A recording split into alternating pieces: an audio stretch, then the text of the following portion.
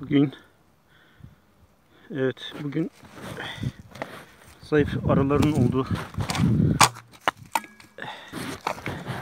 arılığa geldim. Buradaki zayıf arılara bakacağım. Kovan açayım son durumuna bakayım. Evet. Şişeyle arı yemi vermiştim buna. Biraz duman yapayım aşağı gitsinler. Şimdi dün kar yağdı. Dün kar yağdıktan sonra bugün güneş var. Güneş esnasında artık bir daha kar beklemiyoruz yakında. Buna full eh, yavrulama alanını açması için fırsat vereceğim. Çerçeve vereceğim. Çerçeve ilavesi vereceğim.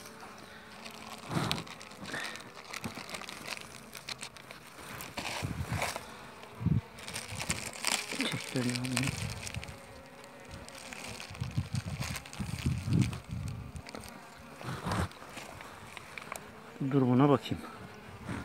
Artık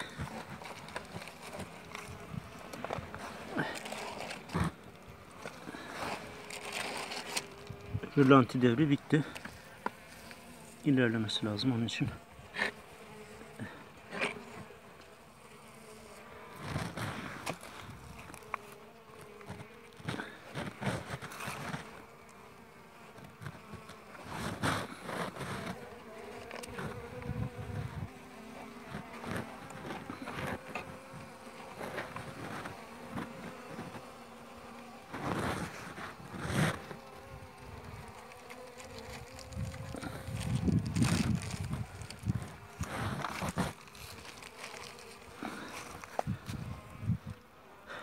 Şimdi bu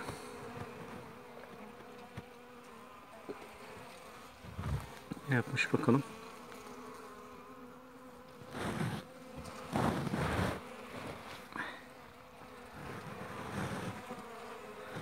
En son kabarmışlar.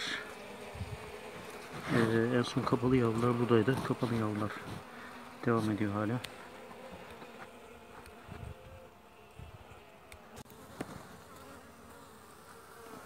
Evet. Ana arımız burada. Kapalı yavrusu var. Yavrulama alanı biraz zayıf. Ee, içeride şurupla birlikte şu an kapalı yavru alanı. Şimdi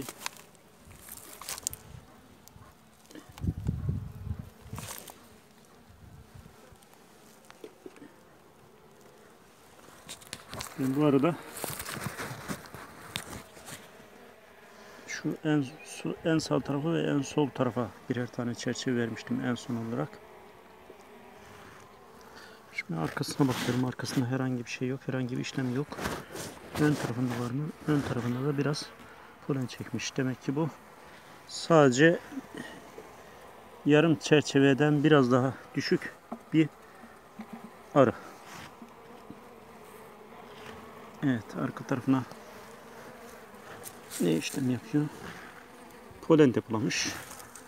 Demek ki sol tarafa doğru yayılacak. Yani gelen poleni en, sola e, koymaya başlamış. Ben bu arıyı sağa doğru yürütmem gerekiyor. E, bu alanı yavrulama alanı olarak açmış.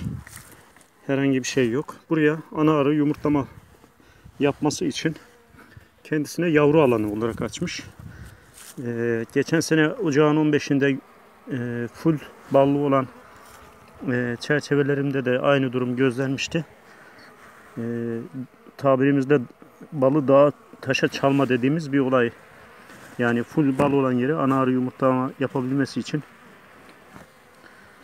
e, açıyor. Artık e, koloni kendine yavaş yavaş diyor ki polen gelişine bağlı olarak ben yürüyeceğim diyor. Şimdi buna yardımcı olması için e, benim yapacağım şey e, diğer e, çerçevelerdeki yani ballı polenli çerçeveleri e, arı çekip kullanabilsin, yesin diye bu şurubu olduğu gibi bırakıyorum. Herhangi bir ilave yapmayacağım. Zaten o ona yeter. Zaten buralarda da ihtiyacı olan e, sıvı gıdayı alacak zaten. Şuraya bakarsak e, hafif küflenme belirtileri başlamış. Bölge aşırı nemli. Son kar yağışıyla beraber. Yani altı açık kovan olduğu halde küflenme oluyor. Demek ki kovan dip, tep, dip tepsisini burada komple açmak gerekiyor. Kışın. Evet. Küflenmiş alan ve polenler.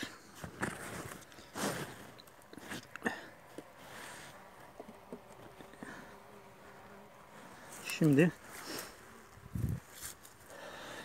diğer kovanlardaki çerçevelerden buraya takviye yapacağım.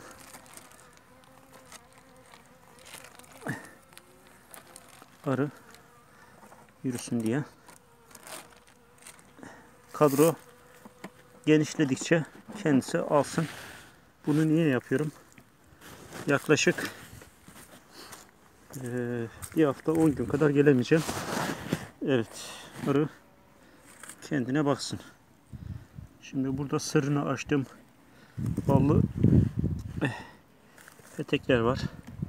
Bunu en sağ tarafa yani şurupluğun sağ tarafına koyuyorum. Bu şurupluk zaten ona yeter. Diğer çerçeveyi de koyayım. Diğer çerçeveyi de şimdi sıyıracak. Sıyıracak. Buradan sıyırıp sol tarafa götürecek.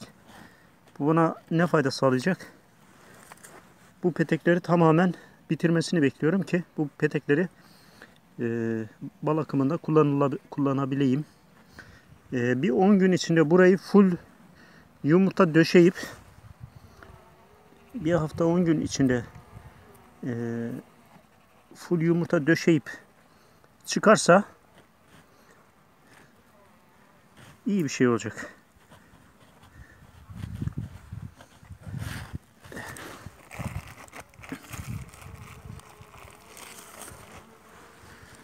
Şimdi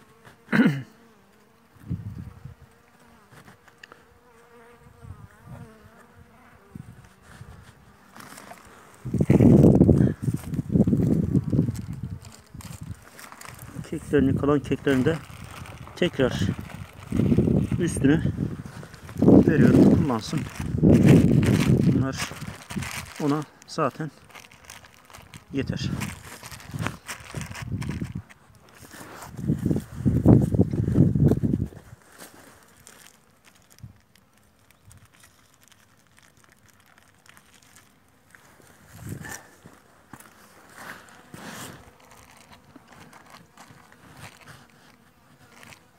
Şeye gerek yok.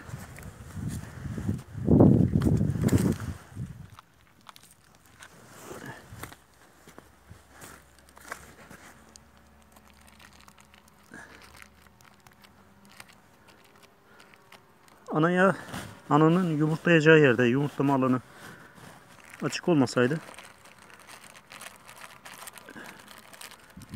bu kadar besleme yapmaya gerek yoktu.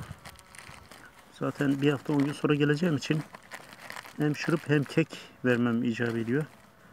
Hem sıvı gıda hem dışarıdan da polen gelmezse polen gelsin diye. Ee, kekten faydalansın diye eğer dışarıdan polen gelmezse şu an baktığımda da şu an polen gelişi yok kovanda. Polen gelişi olmadığı için mecburen evet, çok zayıf bir polen sadece bir arının bacaklarında görebildiğim başka yok. Polen zayıf. Arı kendine böyle bakacak.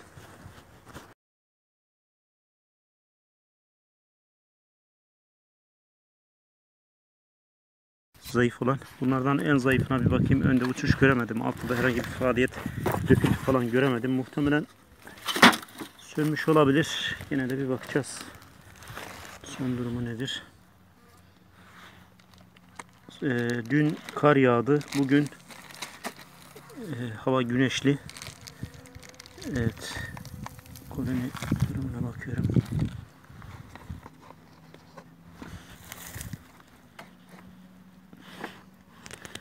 Evet. Son karı atlatamamış.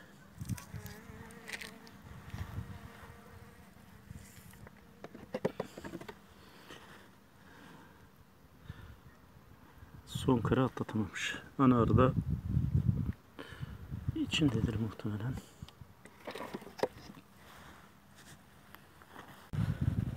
Evet bu sene birinci karda eee zayıf arımız şu an bu vaziyette. Son karı, dünkü karı atlatamamış. Çerçevede salkım halinde ölmüş. Zaten dikkat edersek etrafında herhangi bir bal olarak gıda kalmamış. Üstündeki eee kekin de ona bir faydası artık olmamış. Çünkü kendini ısıtacak bir durumu kalmamış. Bu arının eee kendini kadro yetersizliğinden salkım e, kad- kadro yetersizliğinden ölmüş. E, açlıktan öldüğünü sadece bala bakarak anlamıyoruz. Aynı zamanda neyden anlıyoruz? E, bu gözlerde hiç larva yok. Ne günlük yumurta var. e, ne kapalı herhangi bir şey yok. Zaten son kapalılarda artık çürümüş. e, üşüme kaynaklı çürümüş. Çıkan gözlere, çıkan gözler zaten komple artık e, o kadar bir açlık yaşanmış ki e, arı balları bitirmiş. Balları bitirdikten sonra larvaların suyunu emmiş. Larvaların suyunu emdikten sonra kurçukları yemiş veya dışarı atmış. Ondan sonra da kapalı kapalıları artık imha etmiş, atmış dışarıya. Ve e, ikinci karda üstündeki kekin bir faydası olmamış. Yani e, dün kar yağmasaydı bu arı e, devam edebilirdi. Atlatabilirdi. Diğer kovan gibi.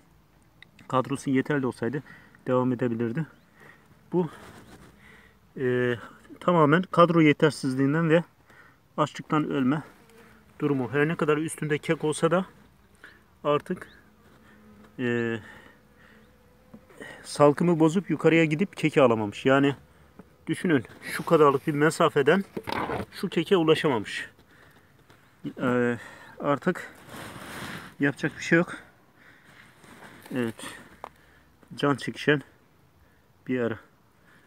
Son ee,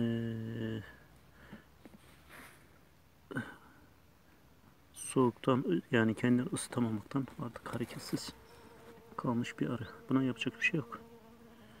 Başka var mı? Yok. Evet.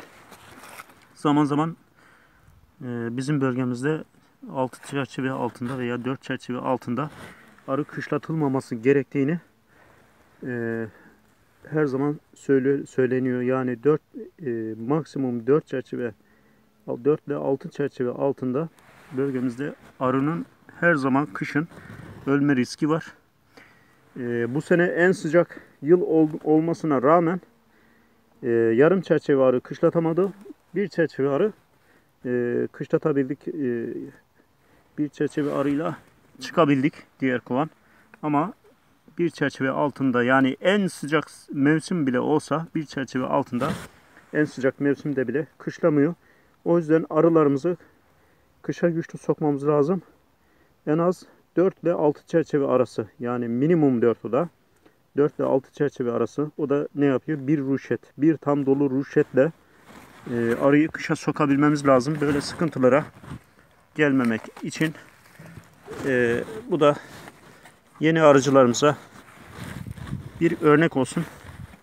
Yeni arıcılarımız bölgemizde en sıcak mevsim dahi olsa arıları zayıf kışlatmasınlar.